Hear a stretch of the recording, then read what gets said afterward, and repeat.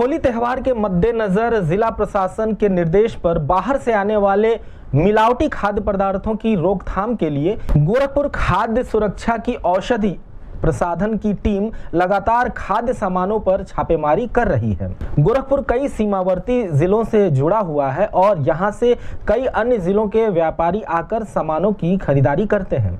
इसी के मद्देनजर खाद्य सुरक्षा टीम ने भारी पैमाने पर गोरखपुर ज़िले के चार स्थानों से बाहर से लाई गई खाद्य सामग्री लगभग एक कुंटल से ज़्यादा पापड़ और पाँच डिब्बों में बंद लगभग एक कुंटल सफ़ेद रसगुल्ला को लावारिस हालत में बरामद किया है। इसके अलावा खाद्य सुरक्षा और औषधि प्रशासन की टीम ने रेलवे बस स्टेशन पर लावारिस हालत में लगभग छह कुंटल खोआ जब्त किया है। इस मौके पर विभाग के अभिभित अधिकारी अजीत कुमार और खाद्य सुरक्षा अधिकारी प्रतिमा त्रिपाठी भी मौजूद रहे। गोरखपुर न्यूज़ से बात करते हुए विभाग के अभिभित अधिकारी अजीत कुमार ने बताया।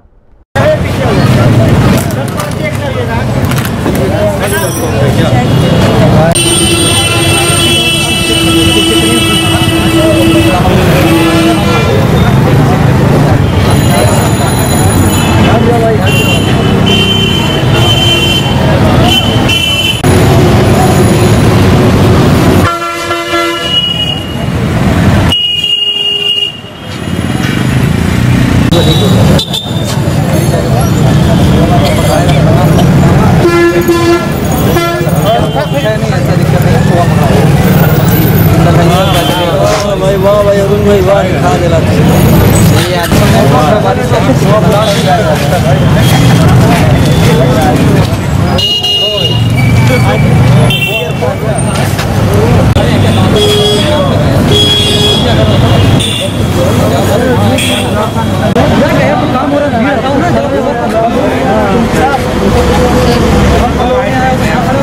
कुमार अभिहित अधिकारी खाद्य सुरक्षा एवं औषधि प्रशासन गोरखपुर।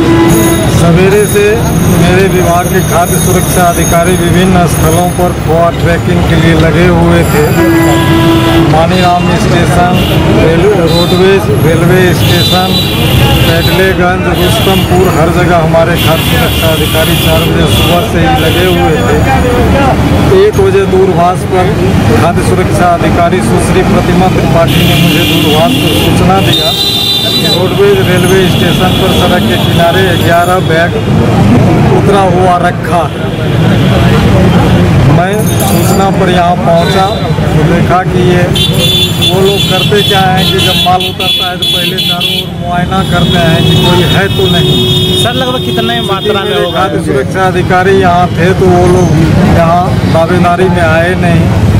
माल रखा हुआ है इसका इंतज़ार किया जाएगा। कोई दावेदार आए तो नमूना लेकर के जाँच हेतु भेजा जाएगा। कितनी मात्रा में आते हैं तो ये विनस्वर प्रकृति का होने के कारण जब डिटेरेट कर जाएगा तो इसको डिस्पोज ऑफ़ डिस्ट्रॉय किया जाएगा। लगभग साढ़े पाँच क्विंटल प्रतीत हो रहा है कि हुआ है।